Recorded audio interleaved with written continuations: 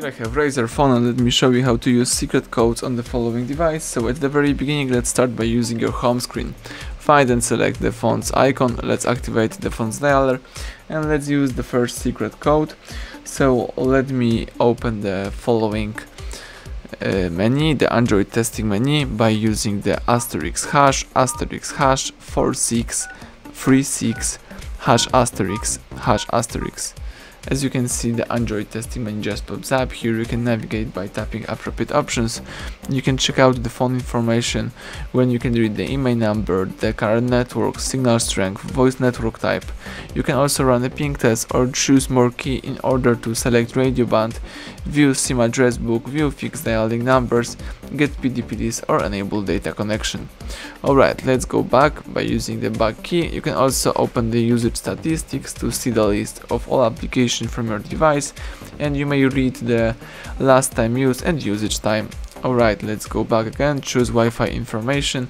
Here you've got the Wi-Fi API, Wi-Fi config and Wi-Fi status. You can use all of these uh, options right here for example the Wi-Fi API when you can disable network, disconnect network, enable network, get configured networks or get connection info.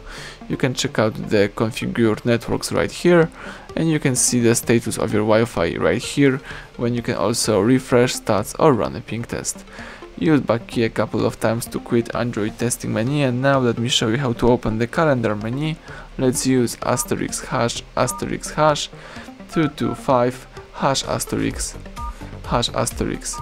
As you can see calendar info pops up. So if you add your calendar to your device uh, from your google account you've got here the all information about your events and other stuff. Let's use the back key again and let me open the google play service by using the following code asterisk hash asterisk hash 426 hash asterisk hash asterisk and Google Play services just pops up. Here you can choose ping, connect, disconnects, events or status. Alright, use back key again and at the end let me show you how to open the IMEI mode. So let's use this code asterisk hash 06 hash and the IMEI number just pops up. To close this window let's simply tap OK.